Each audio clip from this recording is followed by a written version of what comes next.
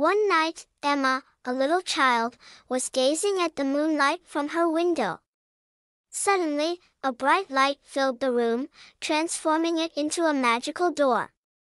Curiously, Emma stepped through the door and found herself in the land of the moon. The land of the moon was a place filled with cute rabbits flying on pink clouds and colorful fields of flowers. Emma met the moon rabbit prince.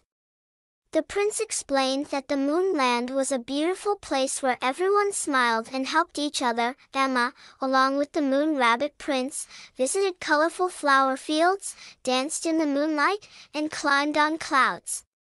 At every step, the inhabitants of the moonland shared loving advice with Emma. Finally, the moon rabbit prince gifted Emma a magical key. This key allowed her to visit the land of the moon anytime she wanted. Emma thanked him and returned to her room through the magical door. The next night, Emma visited the land of the moon again.